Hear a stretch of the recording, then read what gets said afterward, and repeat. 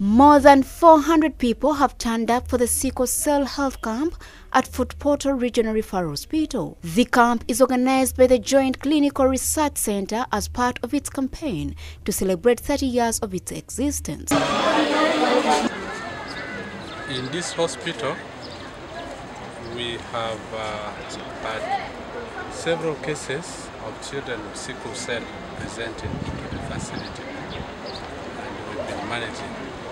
We have a senior consultant pediatrician and also two other doctors, medical officer special pediatrics, who have stepped in and together with them and partners, we are going to organize a special clinic which we also been running for the other conditions for sickle cell. A sickle cell survey done in 2014 by the Ministry of Health with support from Makerere College of Health Sciences and the Cincinnati Children's Hospital. Northern Uganda has the highest prevalence of sickle cell trait in the country, standing at 18.6%. The study further revealed that East Central regions come second with sickle cell prevalence of 16.7%.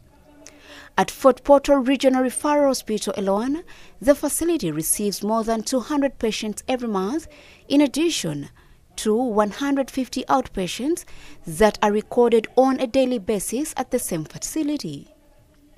Dr. Gilbert Atajika, who works with the facility in the Department of Pediatrics, says the numbers are overwhelming. Uh, sickle cell disease, uh, it is a, burden in this region because uh, when you see this, the number of patients we see on the wards, you could see in a month uh, around 200 patients for admissions.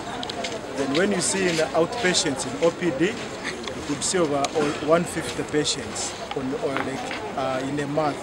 So in a day, you see uh, outpatients, they walk in, but the admissions also, they are many. So we are looking at the whole region like uh, sickle cell is a burden. To me, it is something that is timely, and uh, looking at the numbers, I would suggest that we need actually more days so that we can cater for our people from the various districts. This is a regional referral hospital, and uh, we have had people, I can see people from Bundibugyo are around, and then I can see others from Kamwenge and the other neighboring districts. So it is my humble request that we can either extend the days for this camp or add on the manpower. He reveals that amidst the overwhelming numbers, the facility lacks the drugs that are used in the medication of a disease. According to him, patients who come to the facility for the service are usually told to buy from outside facilities. Uh, these patients of sicklers, we need to do routine blood checkups. We need to do complete blood count know their HB levels, hemoglobin levels in blood. Because they are uh, faced with anemia, so their HB levels are always low. So we assess the HB levels, so we need to do the renal function test, the kidney function.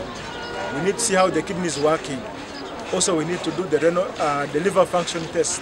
So all these ones, sometimes you find uh, maybe there are no reagents. You have to send the patient to go and, and buy and do from outside. So those are some of the challenges we are having. Locals have, however, been urged to always go for testing before getting married.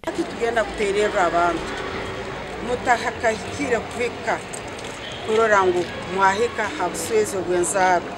mukama banza okebebwe orore oburwaire bwa Story compiled by Jonan Tuswingire for the News Info Portal.